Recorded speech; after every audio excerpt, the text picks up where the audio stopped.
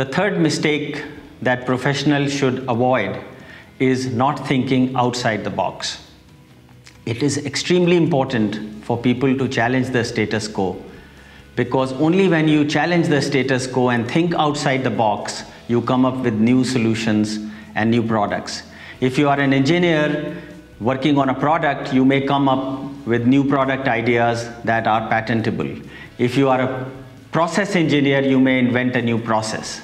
So thinking out of the box is very important skill that a professional should have. Let me give you example from my life about goals, passion, and thinking out of the box. At the age 30, when I was working for Hewlett Packard, I gave myself a goal that I would like to become financially independent at the age of 40. I didn't have green card, I didn't have any money to do a startup, so how was I going to do it? But this is the power of goals.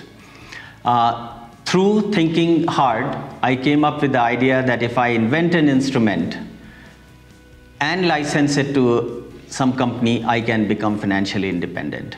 And I was so passionately engaged with this idea that I would have hard time sleeping even.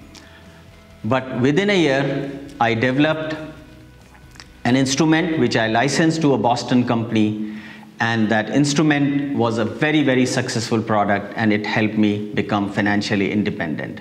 So thinking out of the box is a very, very important skill set.